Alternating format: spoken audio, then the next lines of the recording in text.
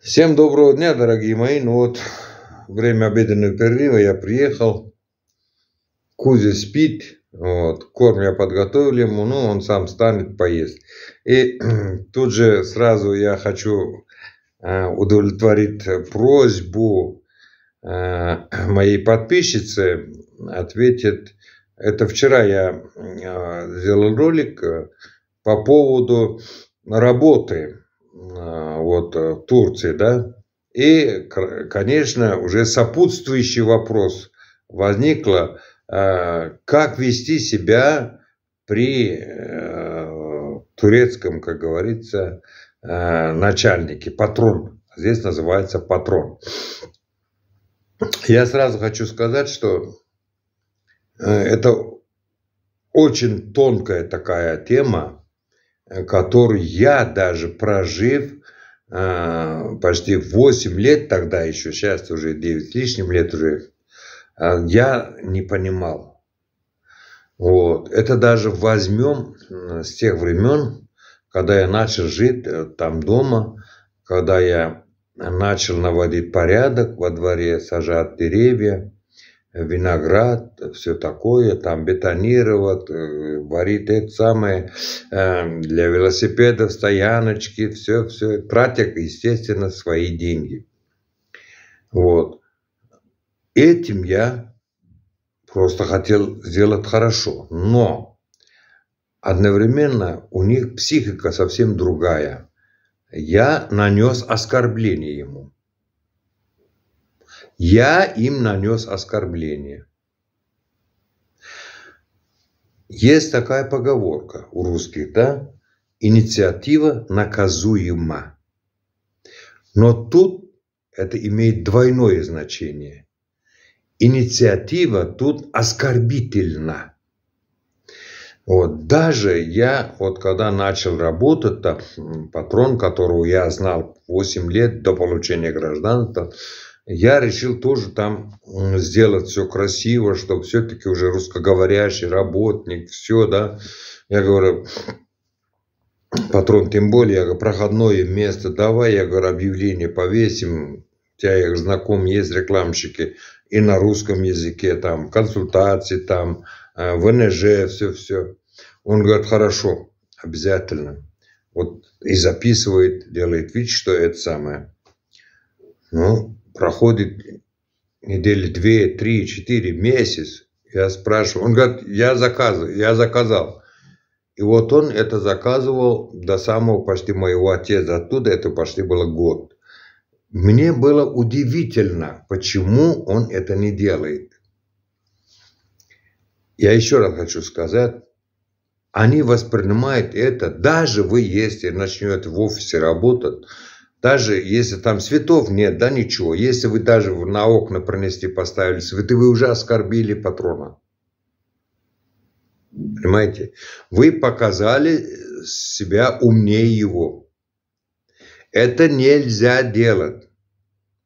Даже если вы купили квартиру вот, э, в доме, не в сети, где все обслуживается, да, а вот в обычном доме, да, а, где все турки живут тоже, да, и вы решили то же самое, да там пришли, а там все не убрано, грязно во дворе, да, допустим, деревья не растут, ничего не растет, но вы решили, естественно, сделать все там красоту.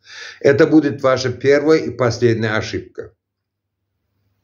Вы первое, вы нанесли оскорбление. Первое, что, мол, вы считаете себя умнее их. Понимаете? Второе, перед людьми, соседи тоже видите это, вы опять унизили их перед соседями. Негласно, негласно. У них вот такая психика, понимаете? Нам этого не понять. У нас, например, если э, директор поблагодарит, он молодец, инициативный парень, там, короче, кто-то делает. Нет, нельзя. Даже что-то свое предлагать тоже нельзя. Наоборот, берет на руки, даже патрон будет говорить, всякую, допустим, даже чушь. Берет бумагу. Так, так, с этого места я записываю патрон. Гениально, гениально сказано.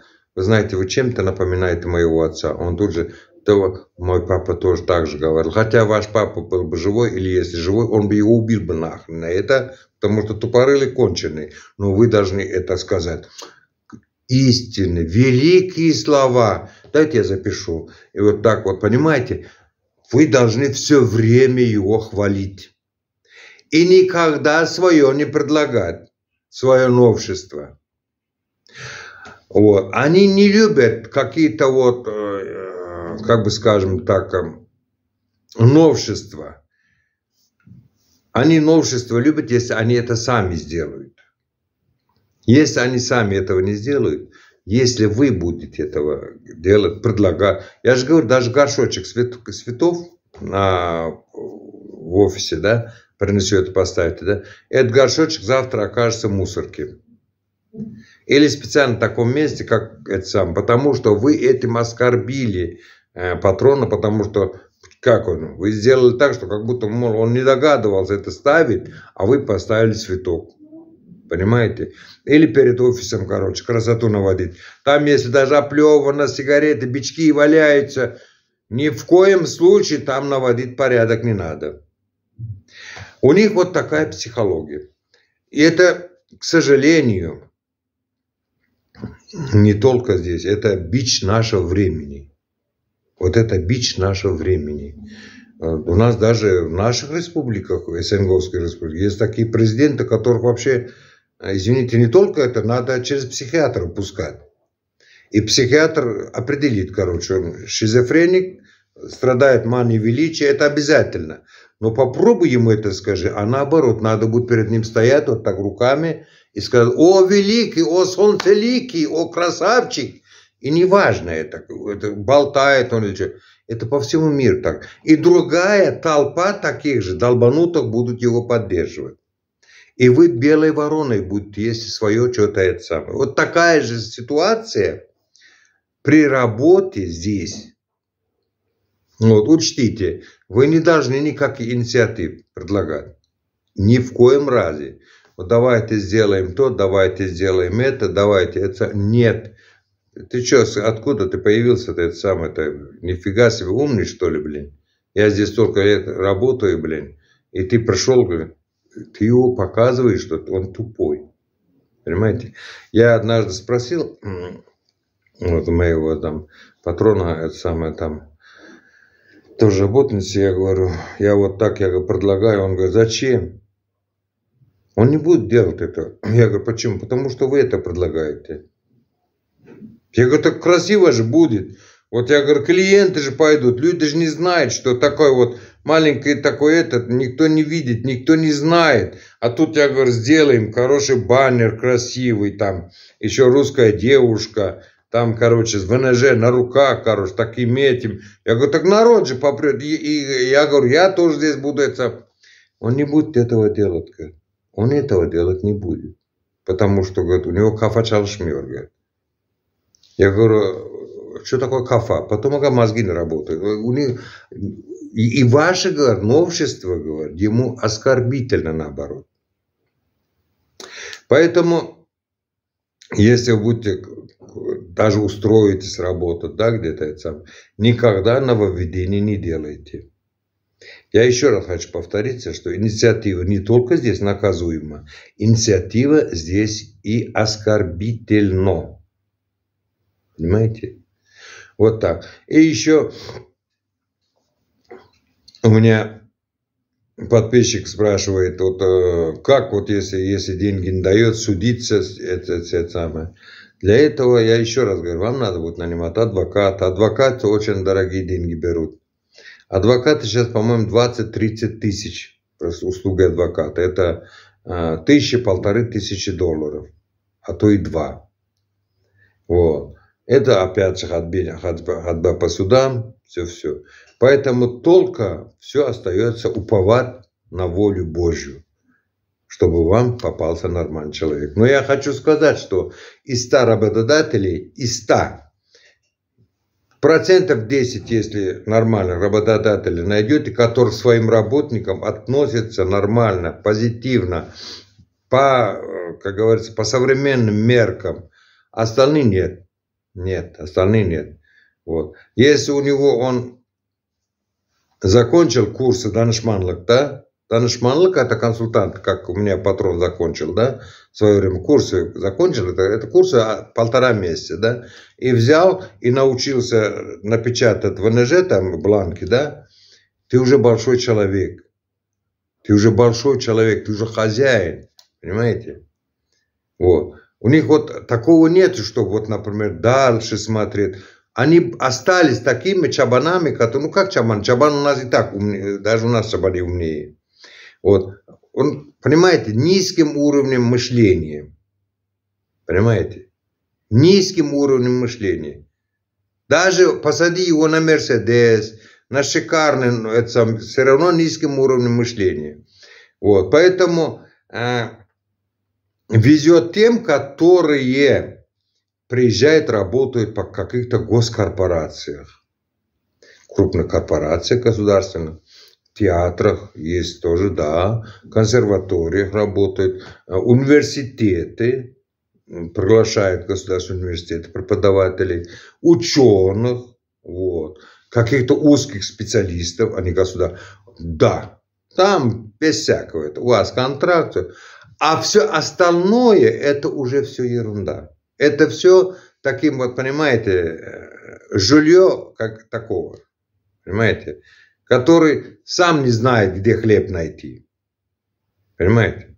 Вот. И даже если вы этим людям будете приносить миллиардные даже, да, миллиардные даже прибыль, вас ценить никто не будет. Никто, запомните. Вот. Вот женщины, если вот э, тут меня написали, что, конечно, я это не люблю, вот это слово, когда говорят Наташа, да, потому что это э, во всех есть еще похлеще. Похлеще. Ахните. Даже Наташа в стороне будет сидеть и курить. Понимаете? Наташа просто в стороне будет сидеть и это самое. Поэтому не надо говорить это вот. Если женщина, это самое, сами знаете, вы там в комментариях написали. Вот. Поэтому я еще раз хочу сказать, что э, предыдущему ролику дополнение делаю, что вы должны учитывать все-все факты, все риски, весь вот этот менталитет вот этот, да. Вот, если вы сумели э, договориться каким-то государственным учреждением, университетами, да, э, оркестром какими-то симфоническими, да, когда вам повезло. Тогда есть стабильная зарплата, Э, э, стабильными выходными, вот, о вас будут заботиться, страховки, на страховке, зарплата вовремя и прекрасная жизнь в прекрасной стране. Но если вы приехали, и вот это вот директор фирмы там туда, они любят очень это самое. Понты, наши понты перед ними это самое отдыхают, понимаете? Вот. И золотые горы могут обещать. И только вы начнете работать, вы уже превращаетесь в раба. Без, без, без, вообще, вы обезличиваетесь. Понимаете? Обезличиваетесь.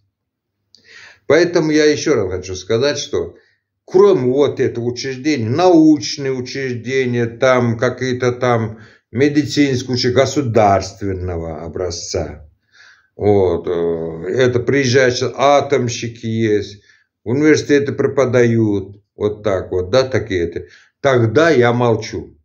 Отлично. А вот это все, все проходимся в основном. 90% проходимся. Чтобы вы знали.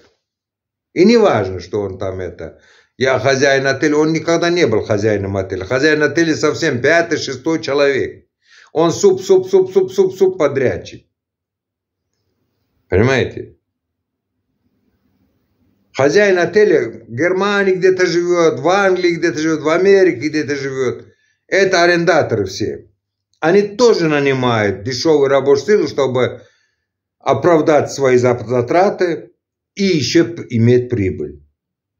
При малых затратах. А малые затраты на рабочую силу, в основном на рабочую силу. А рабочую силу малым затратам кого можно? Мигрантов, у которых нет ни права, ничего. Которые не имеют права ни на что. Даже если вас поймают даже в рабочем месте, и вы скажете, что вы здесь работает, он скажет, я его впервые вижу. Все. И он будет прав. Я его впервые вижу. Я его вообще, этот человек, заходил, что сидел и все. До свидания. И другие подтвердят, что вы это. Вот такие дела. Так что всех вам благ. Берегите себя и свои нервы. Пока.